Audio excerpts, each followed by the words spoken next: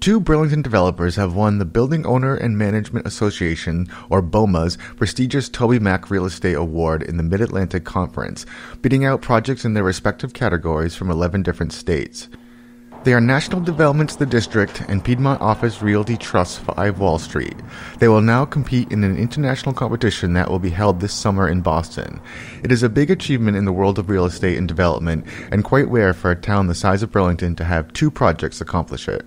I think it, it puts Burlington on the map again. Uh, as you know, we have, you know, incredible hospital here. We have life sciences companies, tech companies. But it really shows that Burlington, you know, is really above and beyond in many other categories as well. National Development acquired New England Executive Park in 2013 and began the big project of developing it into the district we know today. They added numerous amenities, including a hotel, multiple restaurants, a gym, yoga studio, and upgraded the landscaping, among other additions. The goal, they said, was to make an environment that caters to both office workers and the community of Burlington and surrounding towns. What you've got now now is a very contemporary, active office park that basically has an amenity package second to none. We've really changed the atmosphere, but we've changed what people can do here as well. Um, we, we had a, a saying, you know, work, stay, play, and you can do that all here. You can work here, you can stay here, and you can play here. Piedmont Office Realty Trust acquired 5 Wall Street in 2014. It is a publicly traded company with a presence in seven major U.S. markets and owns over 1 million square feet in Burlington, including buildings on Wayside Road and Mall Road.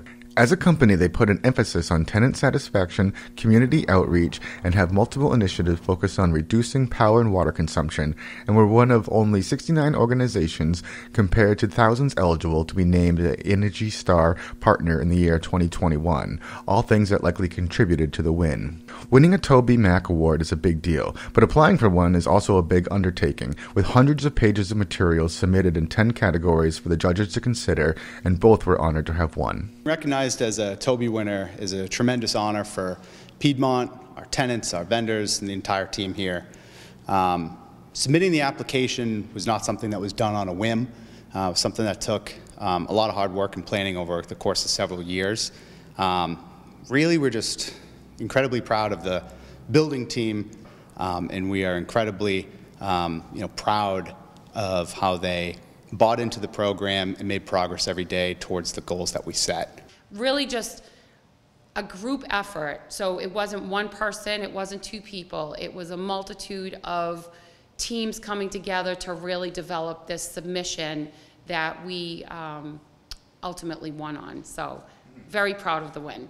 Yeah, it's a great achievement. It's uh, something that uh, not many uh, people in real estate have the honor to um, take advantage of. It's a great way to uh, not only learn uh, with learn about the building and, and uh, the community, but you find ways uh, to better yourself, to better the building, and uh, you know, hopefully to improve uh, the real estate uh, market in, here in Burlington, make it better for everyone else.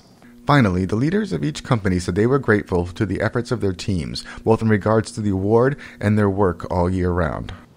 Um, a, a, lot of people don't uh, recognize or realize how much goes into maintaining a building.